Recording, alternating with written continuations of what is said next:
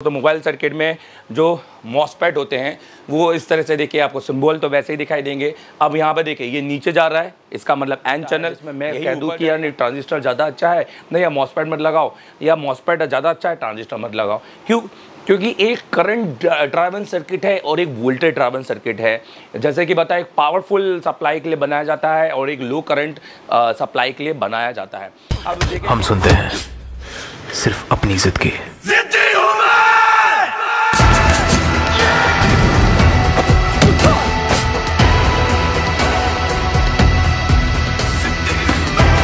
जिद है मेरा फितूर जिद है मेरा गुरूर जिद है मेरी जुर्रत so hi my YouTube family कैसे आप सभी लोग यार?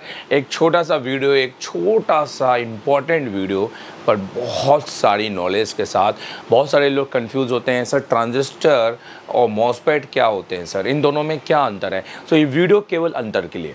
एक जब कहते हैं ना सर दो मिनट में बता दो सर दो मिनट में बता दो। चलो दो मिनट देता हूँ और दो मिनट में आपको क्लियर कर देता हूँ कि ट्रांजिस्टर और मॉसपेट में क्या अंतर है और दोनों कहाँ लगाए जा सकते हैं दोनों का सर्टिफिकेट सिम्बॉल क्या है आइडेंटिफिकेशन क्या है और बेसिकली वर्ड क्या है? अगर ये दो मिनट में समझा सकता हूँ सो मेरे वीडियो को लाइक और इस पे कमेंट ज़रूर करना यार कैसा लगा है वीडियो और आपका जो कन्फ्यूज़न था वो दूर हुआ कि नहीं दूर और, और अभी मैं इसकी टेस्टिंग वर्किंग सब कुछ लाने वाला हूँ इसलिए जुड़े रहना चैनल से और सब्सक्राइब कर देना।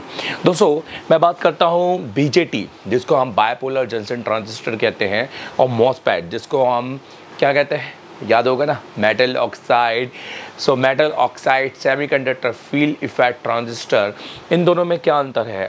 अगर मैं इनकी पूरी डिटेलिंग दूँ दो मिनट के अंदर तो चलिए शुरू करते हैं। दोस्तों, सबसे पहले मैं बात करूँगा दोनों का लुक कैसे दिखते हैं। सो आप देखेंगे कि जो ट्रांजिस्टर होते हैं, वो कुछ इस तरीके से दिखाई देंगे, जिसमें आपको नॉर्मल आपको ये तीन लैग जिसको इलेक्ट्रोड बोलते हैं, जिसमें बेस एमीटर और कलेक्टर्स होती हैं। और आपको जो मॉसपैट होते हैं, उसमें एक ऊपर मेटल की प्लेट भी दिखती है, जैसे कहते हैं ना मेटल ऑक्साइड सो ये एक हीट सिंक की तरह काम करती है। और जहाँ ये, यहाँ से और बीच वाले पिन से कनेक्ट होती है, जो कि इसका ड्रेन होता है। तो आप देखें तो सबसे पहले आइडेंटिफिकेशन मैंने क्लियर कर दिया। कि इस तरह से दिखने वाले जो डिवाइस होंगे, वो ट्रांजिस्टर होंगे बीजेटी और इस तरह से दिखने वाले डिवाइस जो होंगे, वो मॉसपैट होंगे, ठीक है?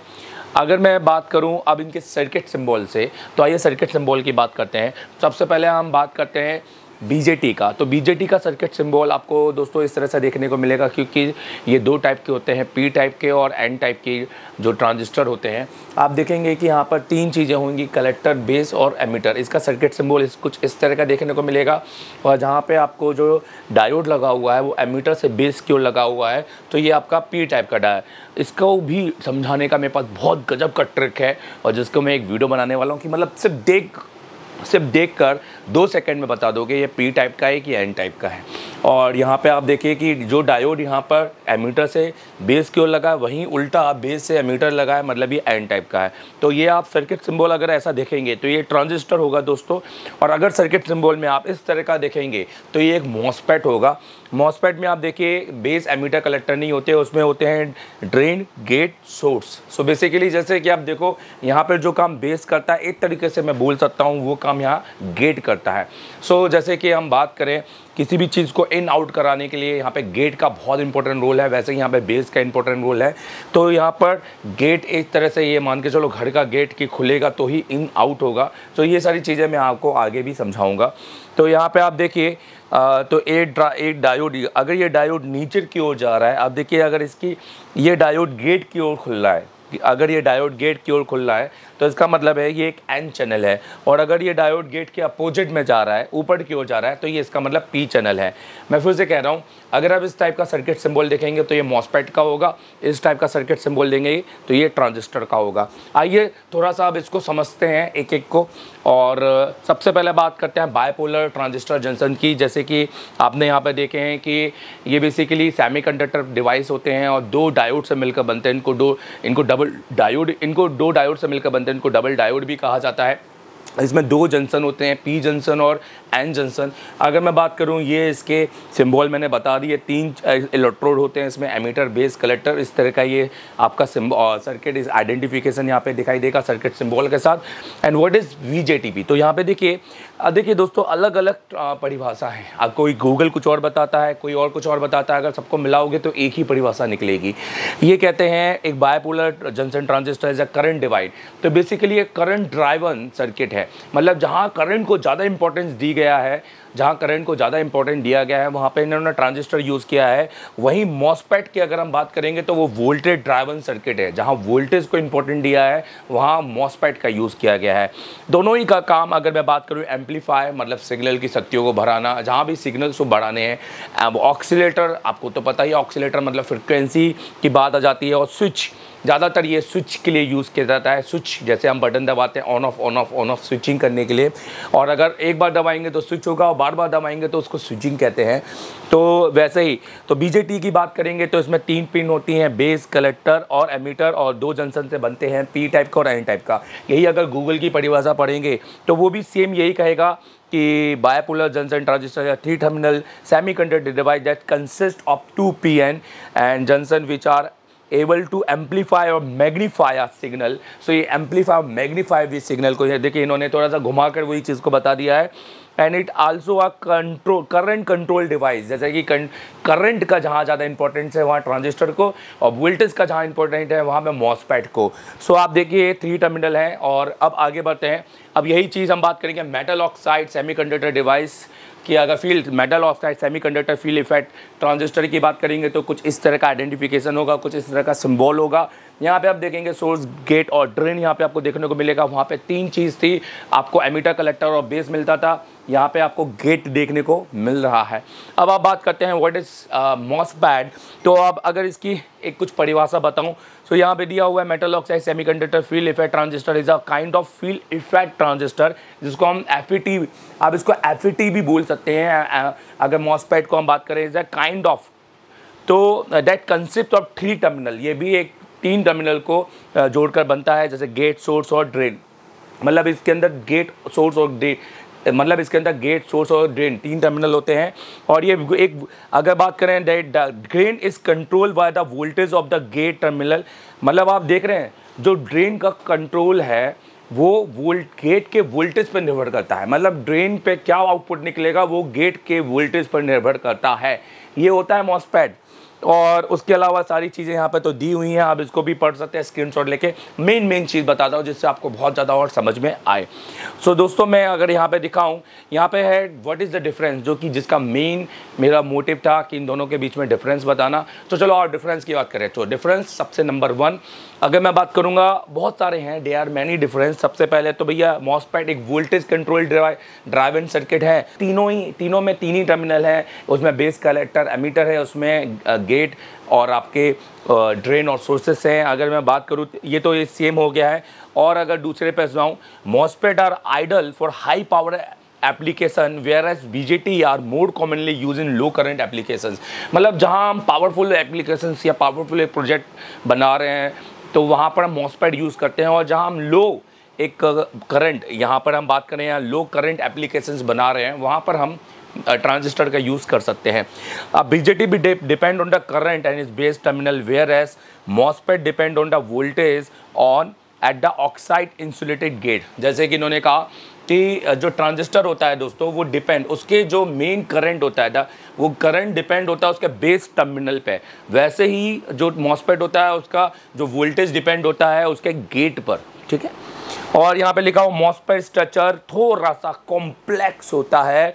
अगर मैं बात करूँ बीजेटी के स्ट्रक्चर से थोड़ा सा कॉम्प्लेक्स दिखेगा। जब भी आप उसका डायग्राम देखेंगे तो आपको वो कॉम्प्लेक्स दिखेगा। थोड़ा सा आपको मतलब उसमें कन्फ्यूज़न क्रिएट करेगा बट कन्फ्यूज़न क्रिएट करने की कोई ज़रूरत नहीं है। मैं हूँ ना मैं आपको कन्फ्यूज़न दूर करूँगा।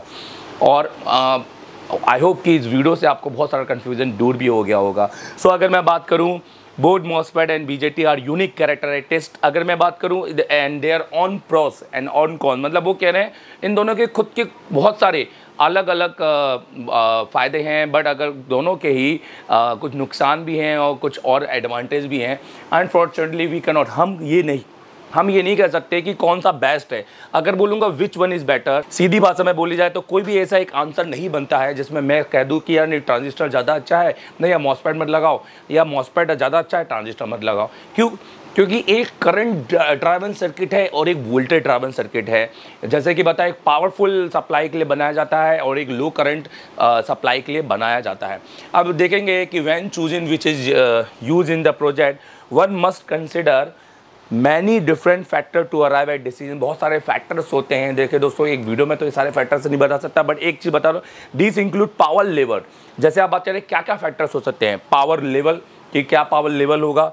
ड्राइव वोल्टेज कि आप वोल्टेज कैसे ड्राइव कराना चाहते हैं? इफ़िशियंसी कॉस्ट आप क्या कॉस्ट चाहते हैं? भाई ऑब्वियस है मॉसपेट महँगे होंगे ट्रांजिस्टर सस्ते होंगे एंड स्विचिंग स्पीड आप स्विचिंग स्पीड कैसे चाहते हैं? ऑब्वियस है कि मॉसपैड की स्विचिंग किसी ट्रांजिस्टर से ज़्यादा ही होगी एंड अमाउंट्स अदर थिंग बहुत सारी चीज़ अलग भी होंगी and which one is better की अगर मैं बात करूँगा so MOSFET is usually more efficient वो पावर सप्लाई में मोर इफिशियंट है in a battery power device जहाँ पर लोड वेरिएबल हो। मतलब एक पावर सप्लाई आप यूज़ कर रहे हैं, जहाँ लोड वेरी कर रहा है और अगर मैं बात करूँ जहाँ पर पावर लिमिटेड हो मतलब एक ऐसी पावर सप्लाई जहाँ पावर लिमिटेड है और लोड वेरी कर रहा है तो वहाँ पर मॉसपैट का यूज़ बहुत ज़्यादा अच्छा माना जाएगा। वहीं पर अगर उसी सर्किट में बीजेटी को लगाना एक बैड आइडिया होगा। बीजेटी जनरली उस प्रिडिक्टेबल करंट मतलब एक ऐसे सर्किट में लगाओ जहाँ एक प्रिडिक्टेबल करंट आपको चाहिए। फॉर एग्ज़ाम्पल जैसे एलईडी जैसे बल्ब बल्ब को जलाने के लिए जनरली हम यहाँ पर उसका यूज़ करते हैं। अगर मैं मोबाइल सर्किट की बात करूँ दोस्तों तो मोबाइल सर्किट में जो मॉसपैट होते हैं, वो इस तरह से देखिए, आपको सिंबल तो वैसे ही दिखाई देंगे। अब यहाँ पर देखिए, ये नीचे जा रहा है, इसका मतलब एन चैनल यही ऊपर जाएगा, इसका मतलब ये पी चैनल तो ये एन चैनल का लगा हुआ है और जनरली एक चार्जिंग सर्किट में लगे होते हैं, जैसे आप देख सकते हैं, यहाँ पे बी बस से ये पाँच वोल्ट अब दोस्तों, जैसे कि मैंने बताया कि ये चार्जिंग सर्किट में यूज़ किया गया है यहाँ पर एक, अब देखिएगा, यहाँ पी चैनल का मॉसपेट लगाया गया है और इस पी चैनल का काम जैसे कि यहाँ पर गेट लो होगा और जैसे गेट लो होगा तो आपका जो ड्रेन है वो सोर्स की ओर वोल्टेज ड्राइव करेगा। कुछ इस तरह से मॉसपेट काम करते हैं। हालाँकि मॉसपेट की पर्टिकुलर वर्किंग और उसकी टेस्टिंग सब कुछ मैं आपको बताने वाला हूँ एक नए वीडियो में। सो so, दोस्तों कैसा लगा ये वीडियो बताएगा ज़रूर। कहा था ना कुछ की कुछ चंद मिनट में मैं आपको मॉसपेट समझा दूँगा। मैं आपको ये समझा दूँगा एटलीस्ट कि मॉसपेट और ट्रांजिस्टर में क्या अंतर है। अब आपके थॉट क्लियर हो गए ना कि भैया एक वोल्टेज ड्राइवन सर्किट है और एक है करंट ड्राइवन सर्किट एक पावरफुल सर्किट में लगाया जाता है और एक जहाँ हमें प्रिडिक्टेबल करंट या एक लो पावर सर्किट में यूज़ किया जाता है।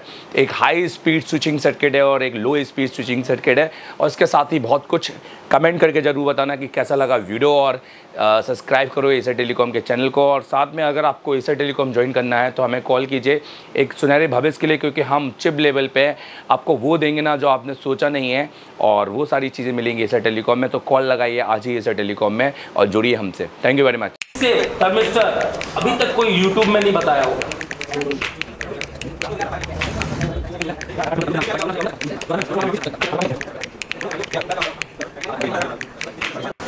क्या नाम है आपका? संतोष। अभी आप क्या करने वाले हैं? उसका सीपो निकल रहा हूँ। कौन सा फ़ोन है ये? M I Y Y one Y one है। जी। तो अभी आप इसका सीपीयू निकालने वाले हैं।